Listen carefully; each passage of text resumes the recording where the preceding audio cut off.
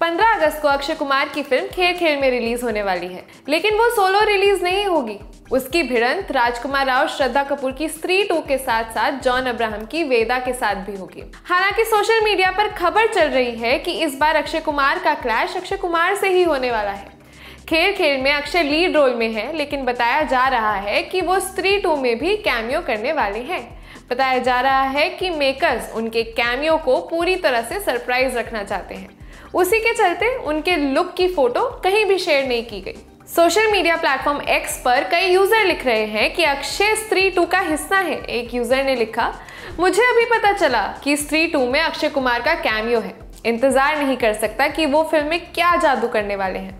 बीते साल अक्टूबर में पंकज त्रिपाठी द ललर टॉप के program guest in the news room में बतौर गेस्ट भी आए थे। वहाँ उन्होंने स्त्री टू की कास्टिंग को लेकर एक हिंट दिया था।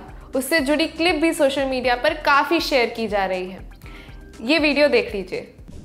एक सरप्राइज़ है जो प्रोड्यूसर ने बोला नहीं है कि मत बताना इंटरव्यू में लेकिन मुझे भी पता नहीं है इसलिए मैं नहीं बता पा रहा हूँ।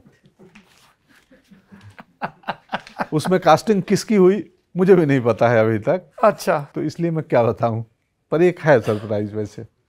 हिंदुस्तान टाइम्स ने अपनी एक रिपोर्ट में दावा किया है कि स्त्री टू में अक्षय कुमार नज़र आने वाले हैं। उन्होंने सोर्स के हवाले से लिखा, ये बिल्कुल सही बात है।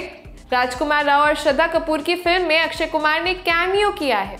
मेकर्स का मानना है कि उनकी कॉमेडी टाइमिंग कमाल की है और उनकी कुछ मिनट की प्रेजेंस से वो सीक्वेंस बहुत ऊपर चला जाएगा।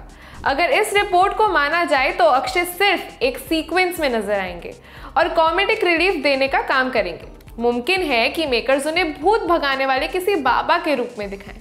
बाकी पूरी तस्वीर फ़िल्म आने पर ही साफ़ होगी।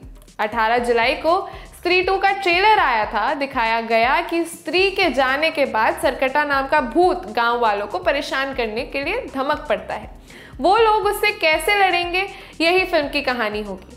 बाकी अक्षय की बात करें तो हाल ही में उनकी फ़िल्म सरफिर आई थी। रिलीज़ के बाद से ही फ़िल्म बॉक्स ऑफ़िस पर स्ट्रगल कर रही है। ट्रेड वेबसाइट सेक्निट के मुताबिक अक्षय की फ़िल्म ने पहले सात दिनों में करीब 18 करोड़ रुपए का बिज़नेस किया है।